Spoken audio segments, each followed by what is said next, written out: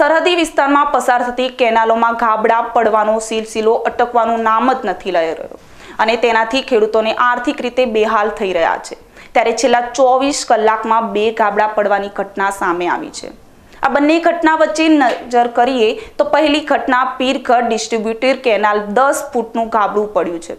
ત્યારે બીજી ઘટના કુંભારડી ગામની સીમમાં બની છે. આ બંને સ્થળે પહેલા ગાબડાને લઈ લાખો લીટર પાણીનો વેડફાળ થયો છે, જેનાથી વધુ એકવાર નર્મદા વિભાગની બેદરકારી સામે આવી છે.